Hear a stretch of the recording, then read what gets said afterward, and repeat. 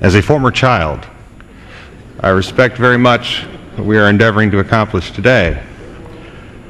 But we always have to remember that it is not simply enough to do the right thing. We must do the right thing the right way. And again, that is the purpose of this debate.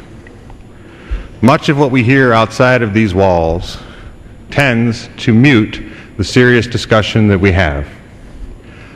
I know that following this debate, there will be those ads or others that will say that Republicans do not like kids.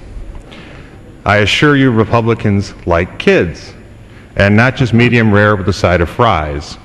We do care about the future of children. But it is a comprehensive, holistic approach to the care of children which we discuss too little in this body.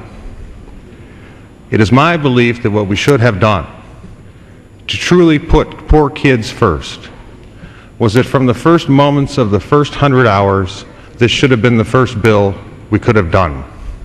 Instead, other bills were passed and billions were spent. We have seen appropriation bills come through this chamber repeatedly where billions are spent and there was no talk of putting kids first and helping poor kids have health insurance. And now today we reach the point where the only way we can help poor children is to raise taxes on the American people. This is not a prioritization of children and their health care.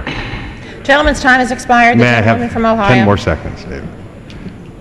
May I ask for 30 more seconds? Uh, I yield the gentleman an additional 30 seconds. Gentleman is recognized for 30 seconds.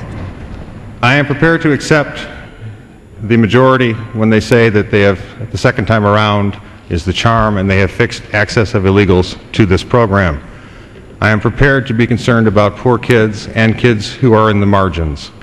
But I do ask them to reconsider raising taxes because we do not want to see one day where our children grow up to be the healthiest people in the unemployment line. I yield back my time. Gentleman yields back his time. The gentlewoman from Ohio.